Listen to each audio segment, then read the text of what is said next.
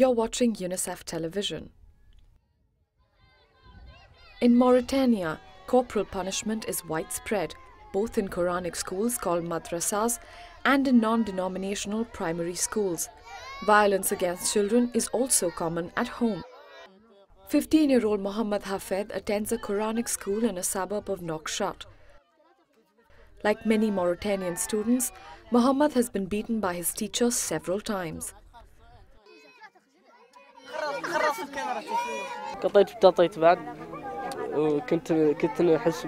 I've been hit and it's made me detest the madrasa. It upset me a lot because sometimes I was beaten up badly.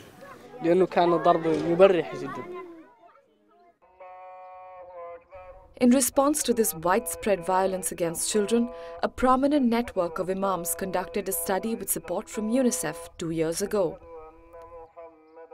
The imams examined the Quran and other Islamic texts and found no justification for corporal punishment.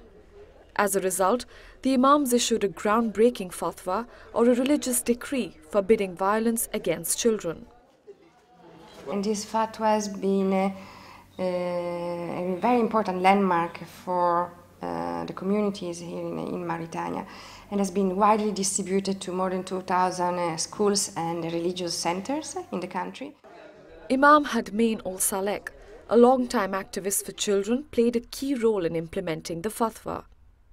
The imams and those in charge of the mahadras acknowledged that the fatwa is consistent with the teachings of Islam. Some teachers admitted they were mistreating children and most agreed to stop beating them.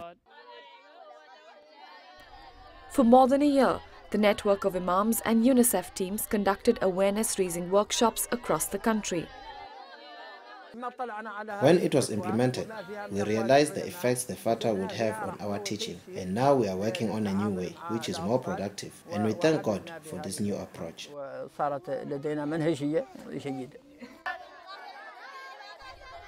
More time is needed to measure the full impact of the fatwa, but several changes are already evident. More children are in school, and teachers are increasingly using non-violent ways of disciplining students. Since the fatwa, we are calmer and more receptive and we concentrate better.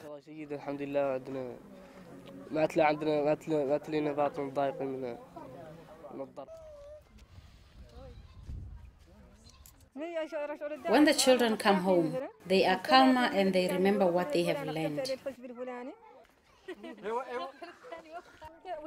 Now that they are not frightened, they want to go back to school because it's a peaceful place.